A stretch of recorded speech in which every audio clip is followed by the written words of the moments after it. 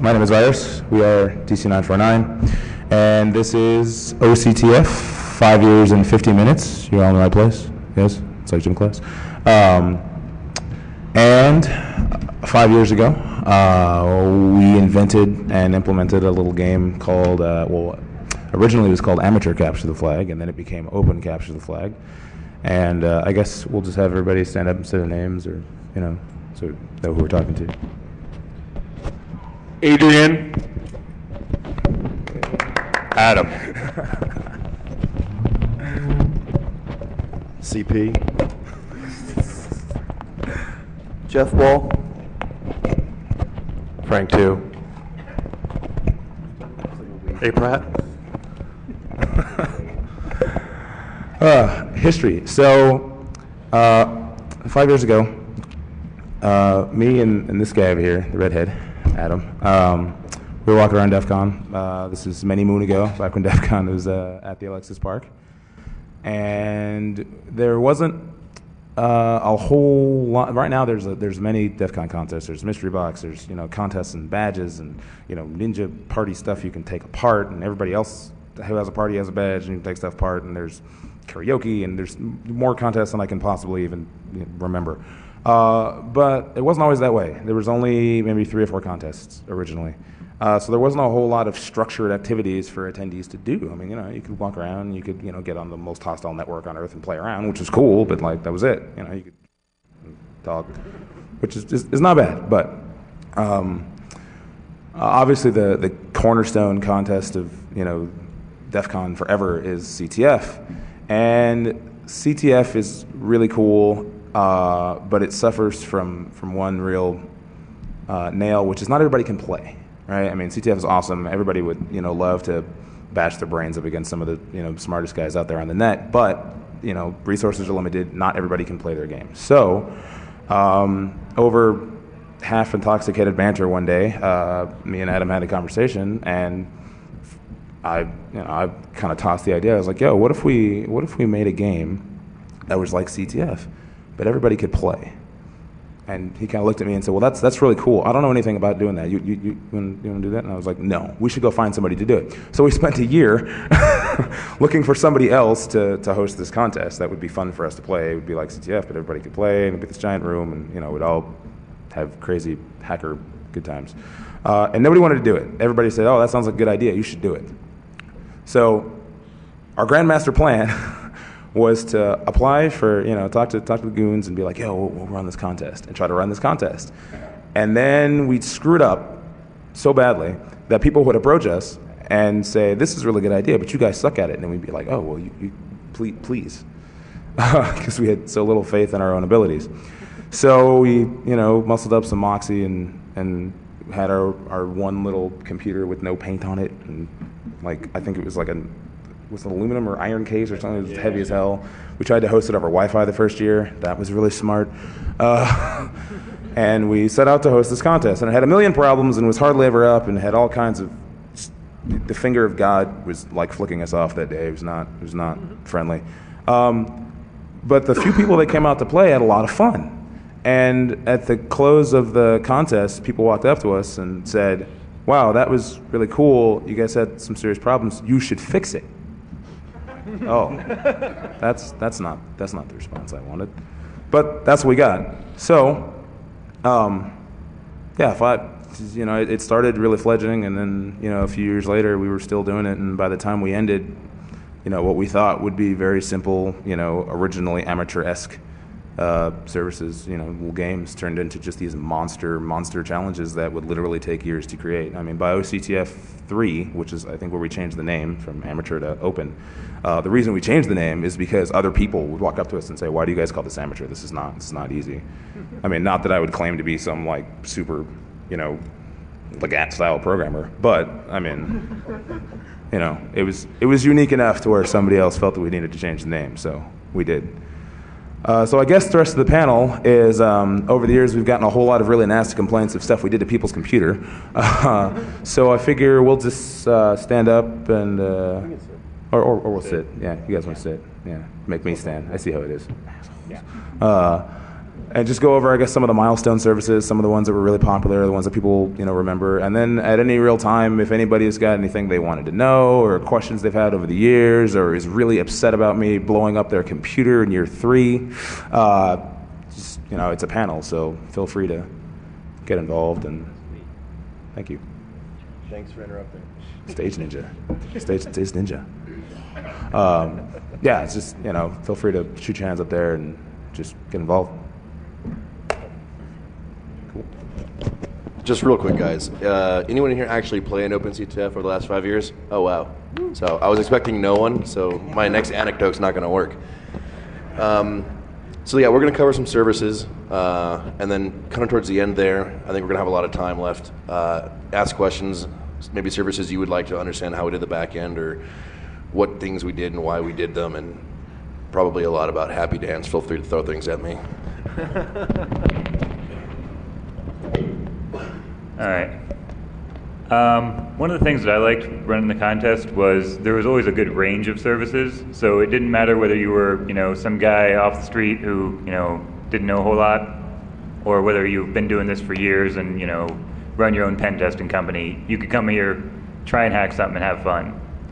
Um, some of the stuff that I did uh, throughout the years have been crypto related, and some of it was simple, you know, telnet into this, and it gives you an, an encoded text with some custom algorithm, anything from rotation to transposition, like all kinds of different stuff. And basically, you had to solve that. And there weren't any hints. It was just, here's a ciphertext, give me back the plain text. And it, one of the other challenges that we had was it had to get harder as the contest progressed. I mean, if people were just battling back and forth, you know, two people know how to solve it, they're just going to script it, and then, you know, the server's going to get DOSed. So what we had to do was we had to make the challenges get more difficult over time at, you know, a reasonable rate so that people would always be able to try it and have fun. Um, so the crypto was a whole lot of fun. Um, we had some games like I did Hangman, where basically you had to guess the, you know, it was Hangman. And uh, there were some different, it was web based, you could do some different uh, injection attacks and stuff like that. Or you could just try and play Hangman and win. So, you know, however you want to attack it, by all means. um, what else did I do? Uh, oh, one year we had uh, a whole economy set up because the uh, one of the things we got from I think it was year three, someone came up and was like, you know, I really like your contest, but and, and it's a great challenge, but it's not really like you know real life. I mean, this crypto stuff's cool and all, but you know, I'm, I'm not gonna you know come out in the wild and say, oh look, I'm telling it it is something, and it's giving me back a crypto. You know, it's just not gonna happen. And all the you know real crypto is you know actually secure, where you're not going to break it in a reasonable amount of time. So like I'm not going to give you that, and it's you know, more or less impossible. And if you do break it, you know you're not going to you know release it here at OCTF. So you're probably going to do something else with it. Um, so what we did was we set up an entire economy. We had a bank, we had an ice cream shop, we had uh, an auction, a whole bunch of stuff and we had different flags, you know, hidden within, and you know, basically all the websites you could hack, or you know, you could just try and manipulate the system to get what you want, uh, more money, more credit, more stuff at the auction. We even auctioned off stuff like uh, trash from the you know ice cream shop, which had hints on you know different things on how to score. Uh, what else we have? Oh, we would, economy. I was saying, and, and what's great about the economy is just like the real economy, it, it kind of crashed and fell apart. Yeah. that was before it existed. Yeah. uh, what else did I do? Uh, Notable. There was the uh, drop down. Oh, letter drop. That one? Yeah, that one. I did a really interesting crypto one where normally you substitute one letter for another. Well, with this one, it wasn't that at all. You just rearranged the letters and you got your plain text. And that one, did anyone get that one? I think someone got it, but it was like everyone thought it was super hard, and it's like all you have to do is rearrange the letters, guys. It's an anagram. it's not that tough. It was like 12 characters. Come on. So it was really interesting to see, you know, you do things like that that you think, oh, this is going to get you know smashed in the first ten minutes, and you know to sit there for like three hours and like people know it's there, people are trying. And you walk around and like people are trying like things. You're like, okay, I, I don't know why they're trying that, but you know, good luck. um, anyways, it's been a lot of fun. I've learned a lot. Uh, had good times with all the contestants. Pretty much know them all by name now. Um, and uh, we had a great run. And hopefully, I'm going to go check out what the, the Tube Warriors are doing over there after I get done talking. Who's next? Next slide, yeah, sure. What's, what's the next thing? Yeah, so, um, wa- I only recently joined the uh, 949 crew, and you know when they say that anybody can just come up and help them out, they're not lying about that. My first uh, DEF CON was DEF CON 16, and I saw OCTF, and I was like, this is really cool, and these are some cool guys. I'm going to go meet up with them. Then the very next year, I was actually uh, working on a service for OCTF, and it was it was a whole lot of fun to work with them. So the this I only had one service, but it was a big, massive service. Are any of you guys familiar with the text game Zork? Okay, here's a few people. Good. So basically, what mine was was Zork with a zero, you know, because hackers love numbers, and um, what it was was you were in the NIST facility to imprison hackers because you know you don't want to put them in a regular prison because they're going to get the crap beaten out of them or something like that. So you put them in a prison hosted by the NIST or MITRE or whoever you really want to call it.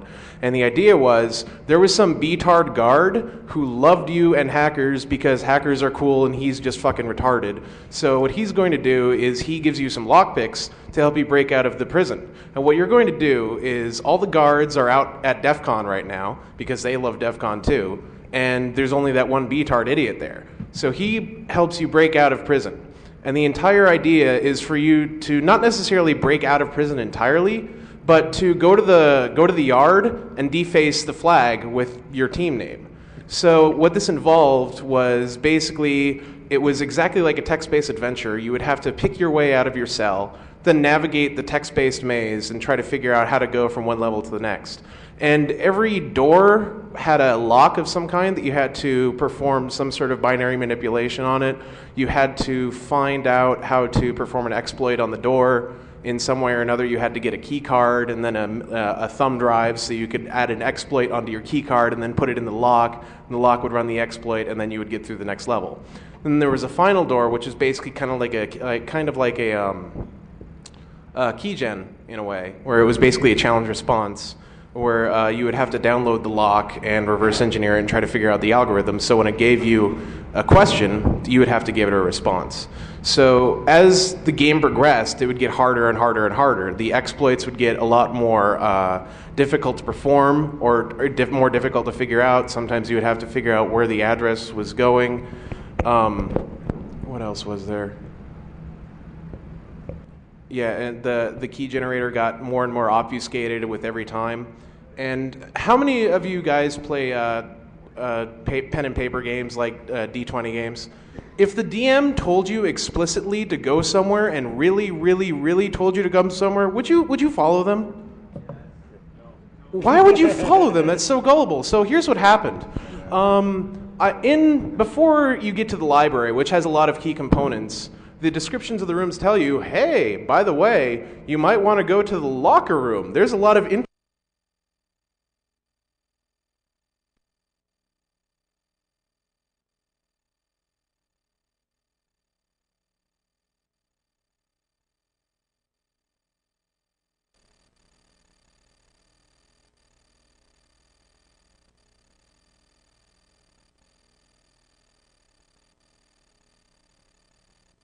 locker room. I actually got compliments on the writing of it, at least. So I mean, yeah, and and that was basically uh, how Zork went, and that was just a whole lot of fun to write. Who's next?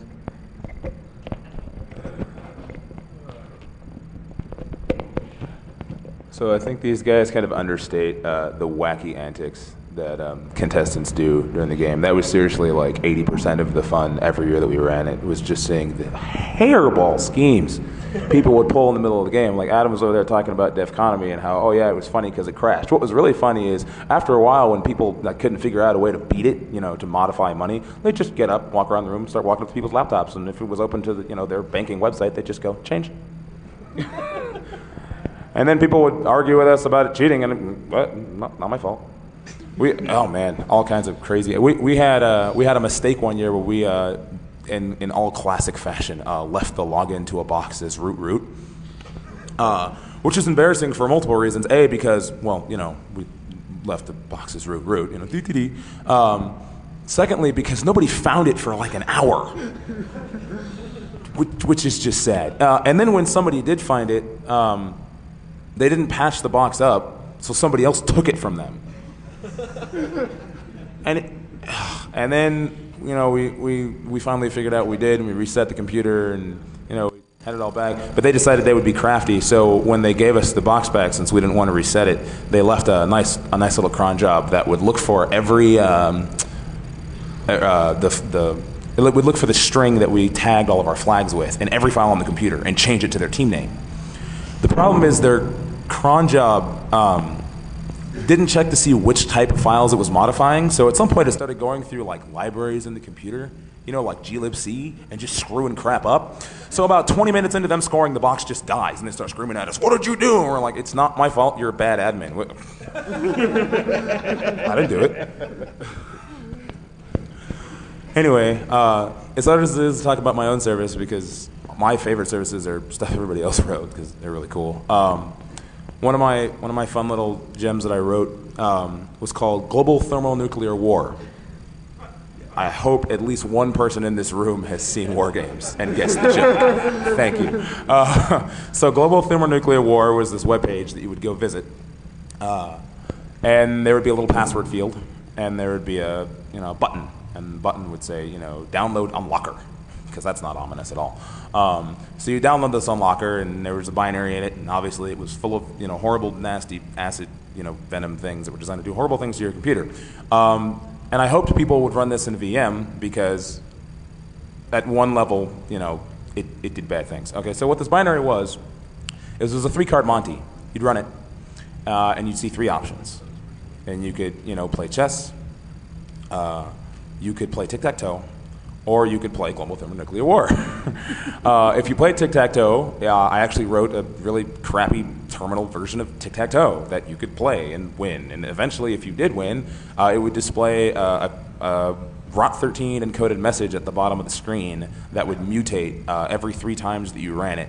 Uh, and if you decoded all of them and put them together in a giant string, excuse me, um, it would just tell you, this is a red herring, why are you looking here? Uh, and a lot of people spent time on that. I really don't know why they did. It's ROT 13. It's not hard. Um, and some people actually decoded it and then thought there was something else in it instead of looking at it for hours. That's, I didn't know I could program that good. Apparently, I could hide things in plain text. Uh, the chess game was just literally a link to a Windows chess game that people downloaded, and eventually people like rooted that site and did all kinds of horrible things to that company. Uh, I don't even know who it was. I just picked it at random. It was the first link on Google when I looked up chess. so, sorry for them.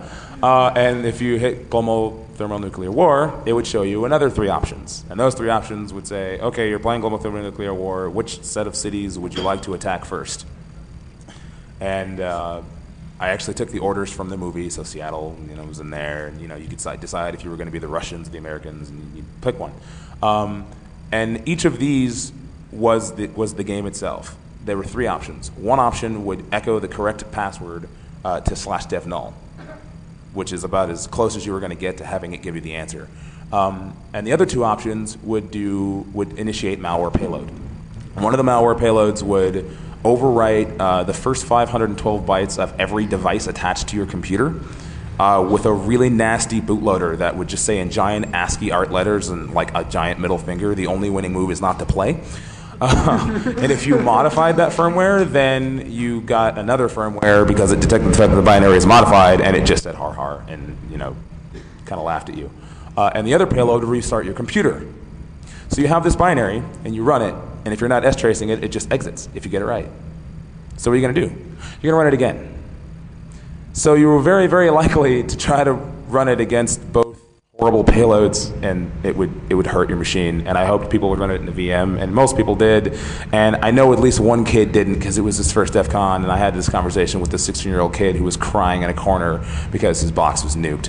And I tried to explain to him that you know it's only the first 512 bytes of your hard drive, man. You could just restore it. And he was like, "But but I just formatted it because I thought it was screwed." so I'm a horrible person. Um, and again with the wacky antics. So the coolest thing about the about that service, I think, was how the guys who beat it ended up beating it. Um, we had two teams from Korea that year. Van and Dida. Vand and DDEC, right? Yeah. So the binary, the way that it was created was, yeah, the only obfuscation in it is the key was a really stupid series of times tables. Um, and rather than try to out binary foo people that were trying to reverse it, I think I packed it too or did something stupid. Um, every time that you downloaded it, it was dynamically compiled. I actually had uh, web script that would look through the source code of the file, change the statically encoded key in the C source, compile it just for you, and then send it to you. So every time that you looked at it, it was totally different. The key was totally random. There wasn't a way to read the algorithm out of the binary because it didn't exist. So the guys who ended up just really reaming the hell out of that service figured this out. And they wrote a Python interpreter to read and unpack the binary and suck the key out of memory when it would run, and then dynamically score the game every minute, which is just fucking awesome. I asked them for the script; they still haven't sent it to me. So, like, yeah, if you guys see this, I want that script. It's pretty cool. But yeah, that was that's, that was one of my favorites.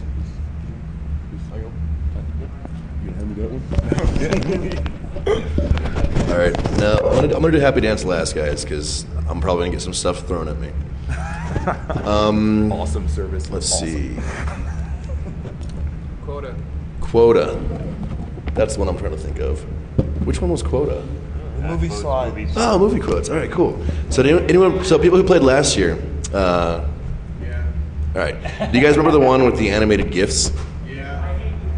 Oh, I love, I love you too. So, this was kind of an interesting service, and, and I always pride myself uh, w- when writing OpenCTF services to just kind of go completely out the window with it and, and just go for something crazy. Uh, this time around, it was animated GIFs from movies. Oh, that's no big deal, right? So you go to a webpage, you see an animated GIF from a random scene of a random movie, and there's a text box. I don't remember what it said, but uh, read my lips. And uh, that was it. If you were able to insert the text dialogue of that scene in the movie, you would score. So let's say uh, you, you see Neo watching Morpheus jump across the, you know, buildings, and he's whoa. If you were to respond with whoa, you would score.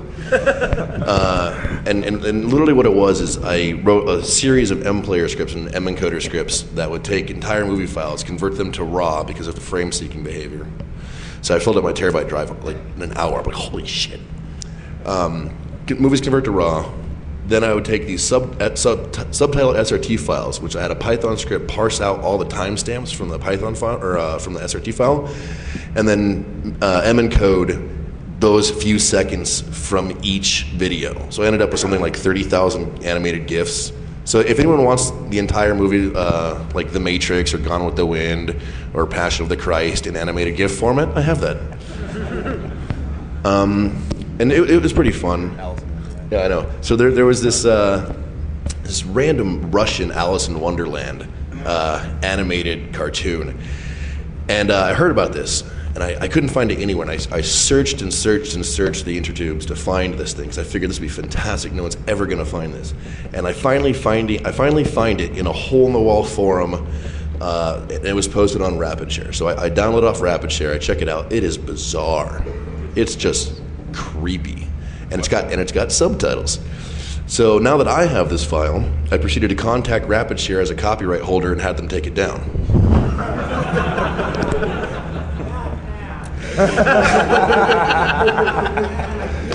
So maybe it existed somewhere else, but probably not over the two days of DEF CON. And uh, Quota was a lot of fun. I hope you guys had fun with that. Uh, I guess I guess one of the things you had to do to beat that would be to. I mean, did anyone actually script a response, or did you just watch the movie and like pull out the subtitle file? Like, oh, I think he said this. No, no one actually scripted. Awesome. I, I figured the best way to do it in a scripted fashion would be to do some sort of frame-seeking behavior and, and look at the different frames of the GIF, and then seek through the video file, and look for the same files or uh, same frames. But I don't fucking know how to do that. So, um, Toast-CR? Yeah. Toast-CR. Uh, which one was that? Uh, the, the OCR? Q, the quick Q. All right. So, um, did anyone play two years ago when there was like the, the custom alphabet written in div tags? No. I don't know how to describe it better than that. Give me a break here. Oh yeah. So you, you go to a page and you see a word or a sentence, and I think it got longer with time. And it basically was uh, a custom alphabet that I wrote. Um, wow, in JavaScript with Ajax, uh, so I could draw on my screen and create an entire alphabet and then print it back to you. It was basically an OCR challenge, but the characters had uh, well different sizes and backwards and Quake logo for the Q, a few other weird things. But what's great about it was what the, the best way to do this logically would be look at the source code and you know figure out what the characters are, where they're coming from. The problem is the alphabets are drawn onto the screen using floating div tags in a random order. God bless you. Uh, so this, I mean, I, I, I suppose you could extrapolate the points and write something that would put it all together and figure it out. But uh, again, I don't know how to do that. Um, Of death. So, I mean, to even get to the source code, if you if you tried to look at the source code, uh, it used a series of client-side obfuscation techniques that I, I developed uh, for a previous talk on um, hacking with Firefox and using Firefox as a scraping platform.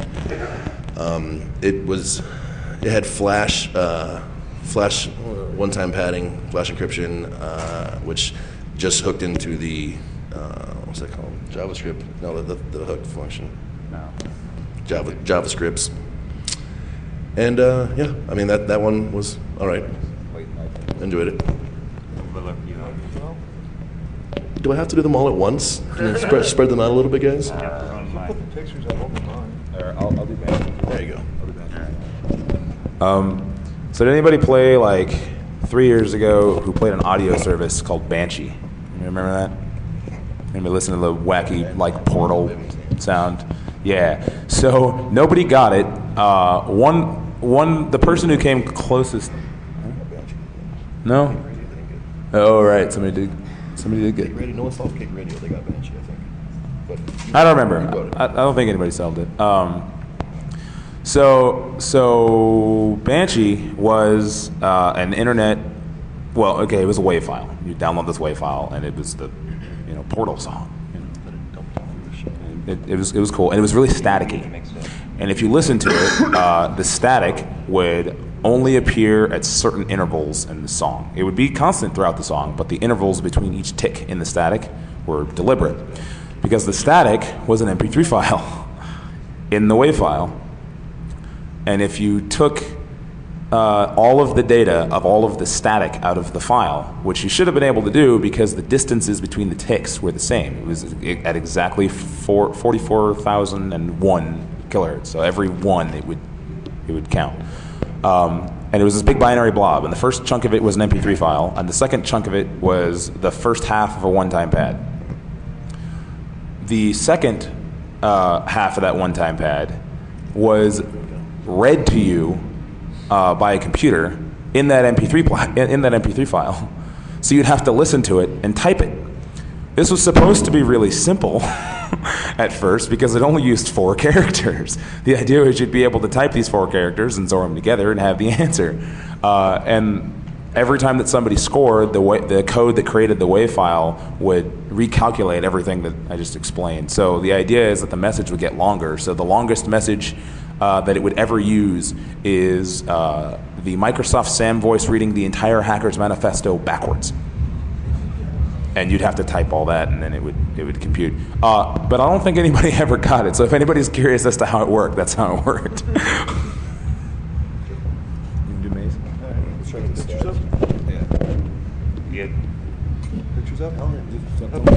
you Can put we the get pictures the uh, up? laptop on the Put CB's CP's laptop on?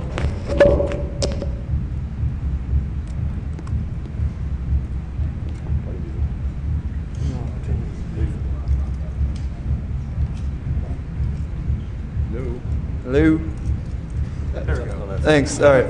From the service I did, it was really simple looking. You just get the red dot to the green dot. Put in left, right, up, or down. Not hard it's at the beginning. You get 40 seconds to do a 10 by 10 maze. So, really simple. Then it progressively got harder.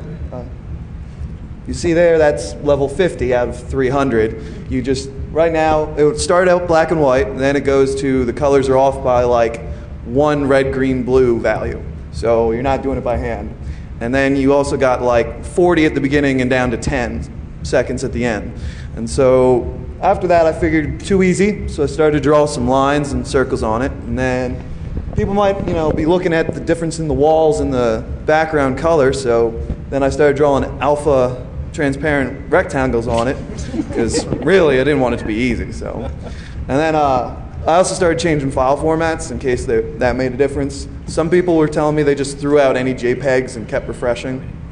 So they kind of tried to combine them all. Who knows? But and then eventually it got too easy even after all the rectangles. So I figured I'll just take a seventh of the pixels and just throw them out. Just start drawing different colors all over the place.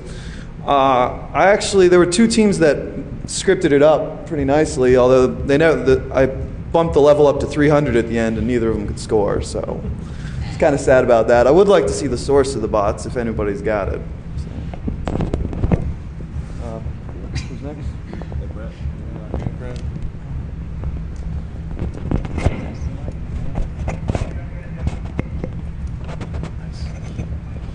I enjoyed writing several services uh, for HostCTF over the years. Uh, let's see, they were uh, in no order. But the IRC bot. Almost FTP'd, uh, HT DVD, BVDB.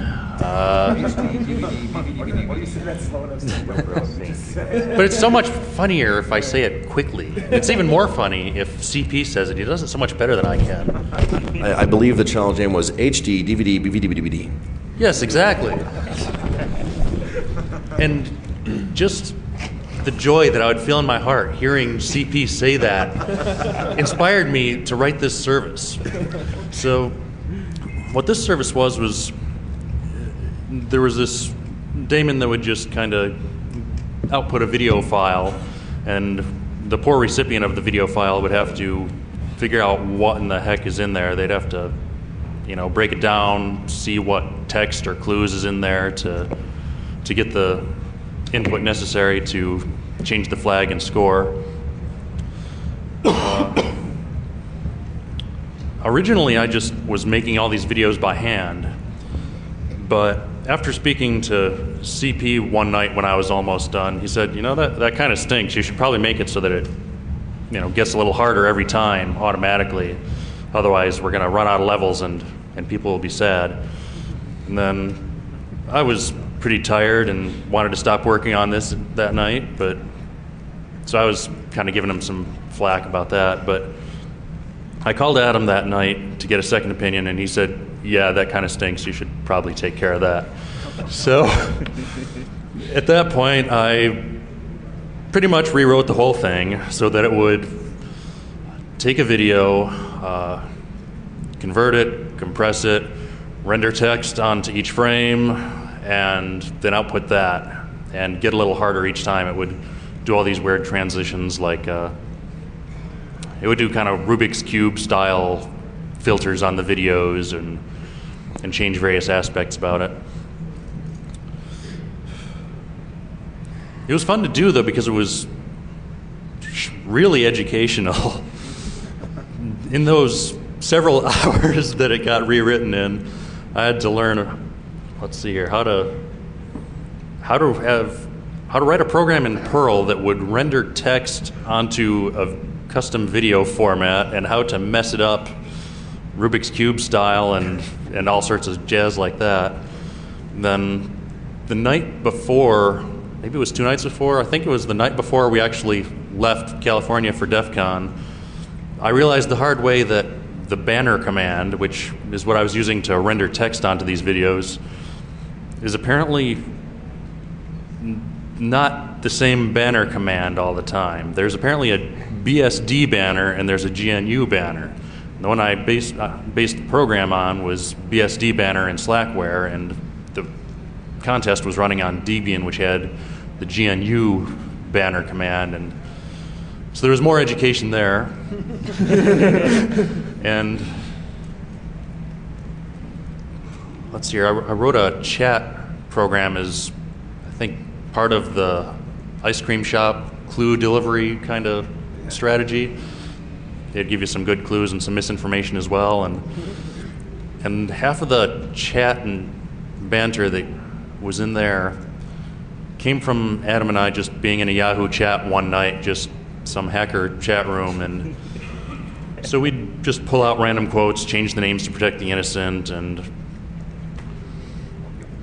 you know, enhance some of the more boring quotes to make them interesting. And a lot of them didn't even need to be modified.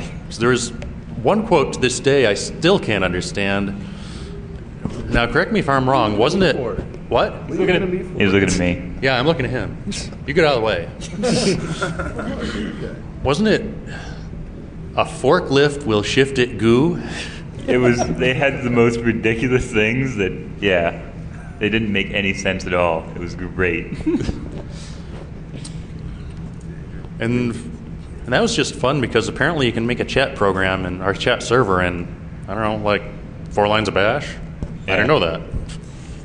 Yeah, by the way, we're gonna release uh, a bunch of our stuff so that you can actually see his videos as opposed to just hearing a description of them, and you get to play with all the other stuff like uh, stuff that nukes your boot sector and stuff CP made. And uh, I had a backdoor in my chat program, which didn't really go very far because um, of the previous years where we were messing with everyone. and They kind of knew if you download code from us, you should probably take some precautions before you run it.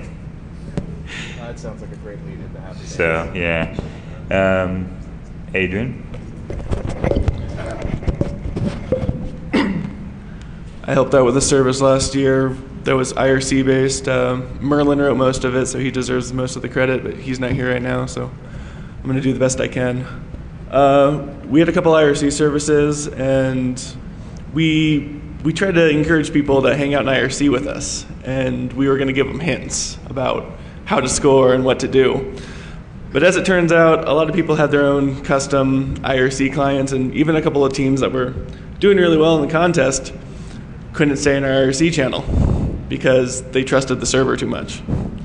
And we ended up crashing a couple of computers by just catting a 10 megabyte ASCII art of, long, of Longcat.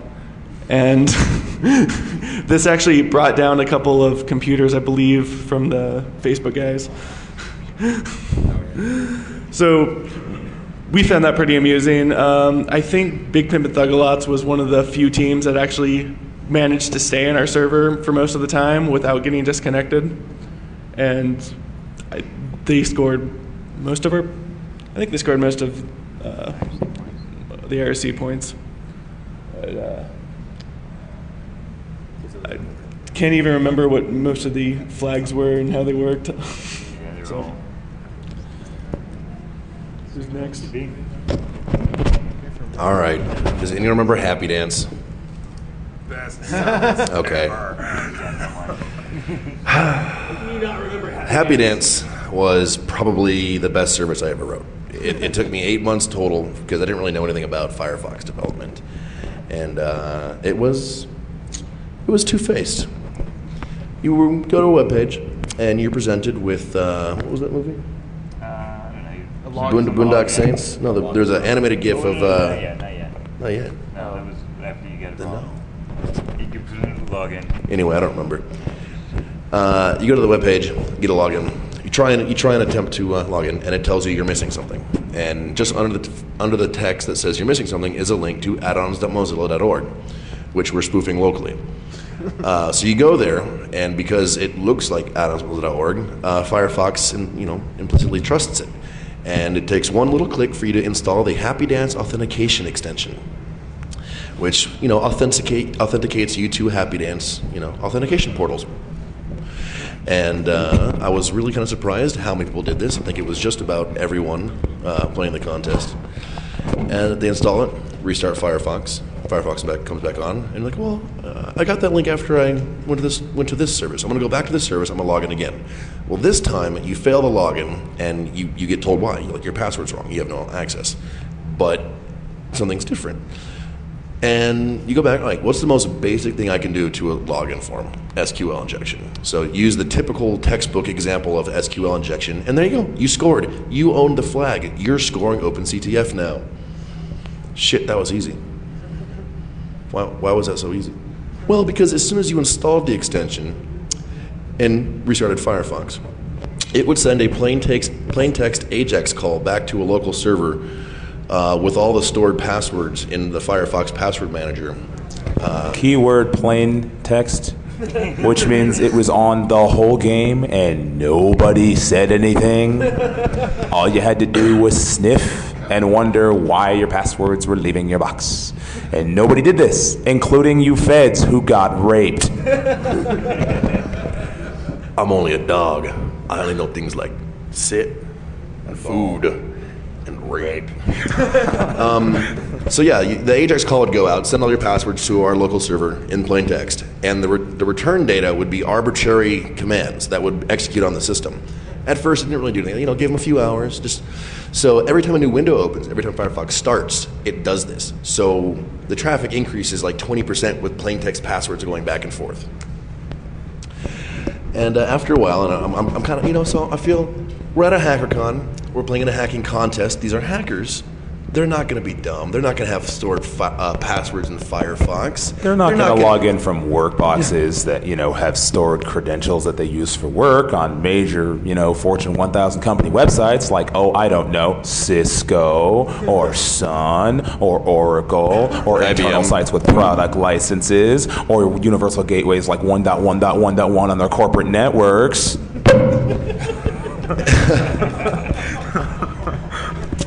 And uh, it, it was a lot of fun because it was so fucking easy. Like, oh, you scored. Yeah, you scored. You win.